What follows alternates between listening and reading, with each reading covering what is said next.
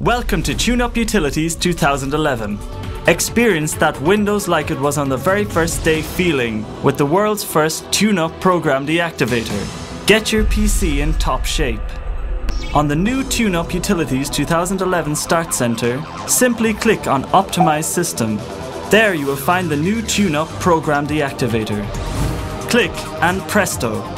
On the right you'll see all the programs installed in your system, clearly arranged according to their load on your PC, helpfully reviewed by hundreds of other TuneUp users.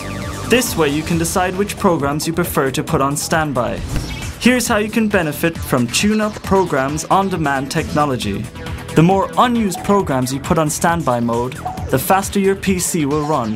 The columns on the left show you immediately how much performance you can gain by deactivating a program. This includes system startup, applications currently running, shutting down a PC. The simple rule is deactivation instead of uninstallation, no matter how many programs you install on your PC. Excellent!